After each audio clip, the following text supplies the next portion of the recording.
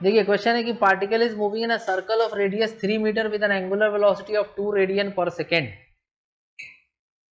क्या दिया हुआ है? ओमेगा दो रेडियन पर सेकेंड दिया हुआ है। तीन मीटर का रेडियस है। क्लॉकवाइज डायरेक्शन में घूम रहा है? ऐसे क्यू से जाएगा ना। Find the acceleration of the particle at Q Q पे बताओ। जब पार्टिकल सर्कुलर मोशन करता है तो कितना वेलोसिटी कितना एक्सेलरेशन होता है उसके पास? कौन कौन सा?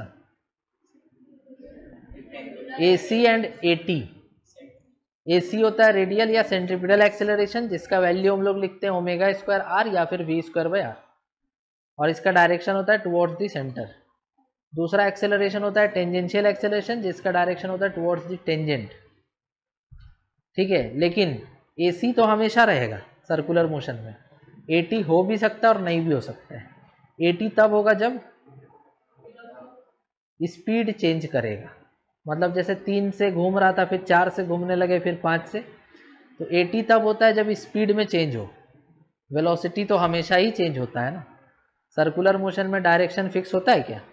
तो वेलोसिटी फिक्स होने का बात तो है ही नहीं, लेकिन उसका मैग्नीट्यूड फिक्स हो भी सकता और अगर मैग्नीट्यूड फिक्स है तो स्पीड कांस्टेंट है तो एटी नहीं होगा। और अगर मैग्नीट्यूड चेंज कर रहा है तो स्पीड चेंज हो रहा है तब एटी रहेगा। यहाँ पर केवल एसी है, जो किधर है? सेंटर की तरफ़। स्पीड चेंज होने का कोई बात हुआ यहाँ? तो यहाँ पर तुम्हारा जो एक्सेलरेशन है, वो केवल और केवल किस तरफ़ है?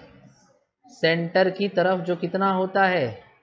A C equal to omega square R omega square कितना दिया हुआ है? दो। तो दो का स्क्वायर इंटू रेडियस कितना है? तीन।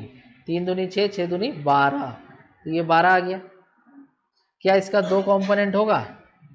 एक इधर और एक।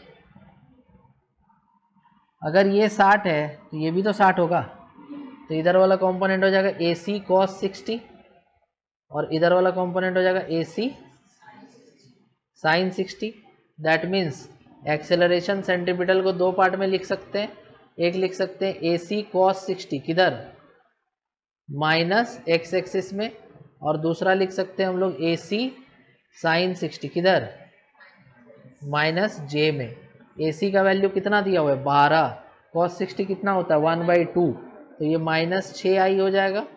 और यहाँ माइनस ए सी का वैल्यू बारह sine sixty root three by two तो सिक्स रूट थ्री जे क्या? कौन सा ऑप्शन आएगा? First option